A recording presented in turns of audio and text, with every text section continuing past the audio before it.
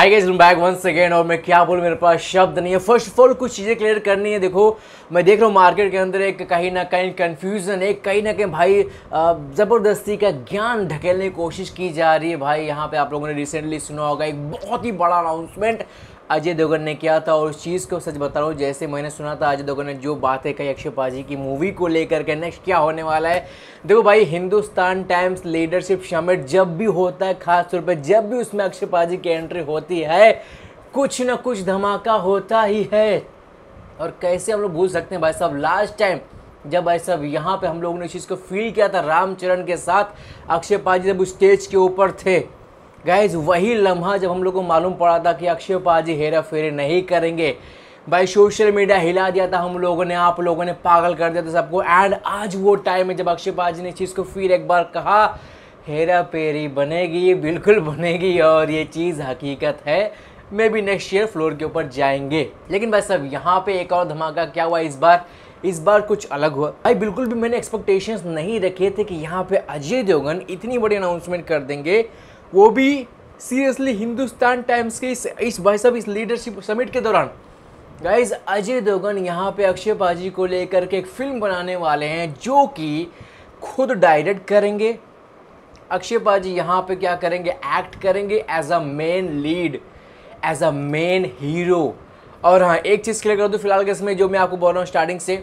कोई मिथ फैलाया ज़रा ज़बरदस्ती कहाँ पे ज्ञान ढकेलने की कोशिश की जा रही है कि मैं देख रहा हूँ कुछ एक आध लोगों को जो यहाँ पे बातें कर रहे हैं कि भाई भोला के जो यूनिवर्स बनाने के सोचा था यहाँ पे अजय देवगन हो उसके अंदर यहाँ पे अक्षय पाजी की एंट्री होगी। नहीं मेरे भाई, ऐसा नहीं हो रहा है। अभी तक कहीं से भी किसी ने भी इस चीज़ को ले कुछ भी बात नहीं कहा है। ये जो भी बातें फैलाई जा रही हवा हवाई बातें बस ऐसी ढकेल दी जाती ताकि लोग थोड़ा सा इंटरेस्ट लेकर के देखें। दैट्स इट बाकी कुछ भी उसमें हकीकत नहीं है। एक चीज़ बता दूँ, आज मैं आपके सामने एक प्रॉमिस करता हूँ। अगर zero percent chances zero percent छोड़ो भाई साहब, अगर पॉइंट वन परसेंट चांस भी रहा आउट ऑफ़ हंड्रेड में से कि अक्षय बाजी को लेकर के जो अजय देवगन मूवी बनाने की सोच रहे हैं, वो भोला का मतलब यूनिवर्स का पार्ट होगा, उनकी फ्रेंचाइज का पार्ट होगा तो मेरी जान सबसे पहले आपका भाई बताएगा यूट्यूब के ऊपर।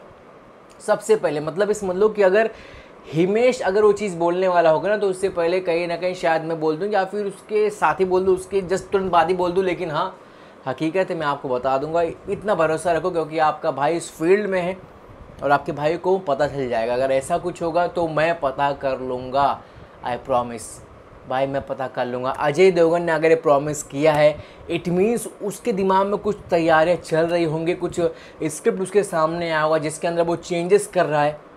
अजय देवगन ने साफ़ तौर पे कहा कि अभी हमारे पास कुछ है, लेकिन वो अभी उसमें कुछ काम चल रहा है और धीरे धीरे इसको लेकर के हम लोग सोच रहे हैं, आगे हम लोग काम शुरू करेंगे। मतलब ये मान के चलो कि मेरे हिसाब से 2025 के एंडिंग के आसपास कहीं ना कहीं ये चीज़ जो है फ्लोर के ऊपर जा सकती है, अगर सब कुछ सही रहा तो।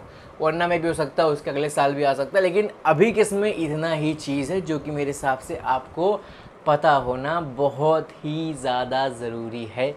आई मस्ट से अब बात कर लेते हैं एक छोटी सी, लेकिन बहुत बड़ी अपडेट भाई साहब यहाँ पे अगली फ़िल्म गाइज़ आप लोग जानते हैं, कांतारा। सो भाई, कांतारा चैप्टर वन कांतारा का प्रीक्वल हर कोई वेट कर रहा है और मैं इस चीज़ को कंट्रोल नहीं कर सकता कि मैं बात ना करूँ। क्योंकि भाई, कांतारा एक ऐसी फ़िल्म है जिसने कहीं ना कहीं अपने अपने अपने लोगों को जो एक डिवाइन वाइब फील कराई ना फॉर द फ़र्स्ट टाइम जब हम लोग इस चीज़ को थिएटर में विटनेस किया था, वो चिल्लाने वाली तरीका भाई वाह जो करता सीरियसली गाइस जो अभी तक मेरे अंदर है। और उस चीज़ को मेरे हिसाब से आप लोगों ने जिसने भी देखा होगा, अभी तक इस चीज़ को फील करेंगे। सो भाई साहब finally Kantara prequel Kantara chapter one का नया रिलीज़ डेट सामने तौर पे भाई साहब ऑफिशियल तौर पे आ चुका है second October 2025 is confirmed for Kantara chapter one Kantara का सेकंड पार्ट बोलो या फिर कांतारा का प्रीक्वल है तो का प्रीक्वल है भाई साहब, कांतारा का चैप्टर वन तो ये चीज़ फाइनली कंफर्म हो चुका है, बाद one and only Rishabh Shetty. और मैं बहुत खुश हूँ इस चीज़ से गाइज़ वाकई में बड़े बड़े धमाके अगले साल जो है अपने को देखने मिलने वाले हैं, और आप ये भी जानते हैं कि अगर सब कुछ अच्छा रहा, कहीं ना कहीं 2025 वो साल होगा जब कहीं ना कहीं अपने को अक्षय पाल जी की हेरा फेरी भी शायद आप लोग को देखने को मिल जाए। और वेलकम बैक थ्री अगर आप लोग कहीं ना कहीं जानते वो तो धमाका होगा ही होगा। लेकिन हाँ भाई, और भी कई सारे सरप्राइजेस है अदर साइड से जो आप लोगों को डेफिनेटली पसंद आएँगे।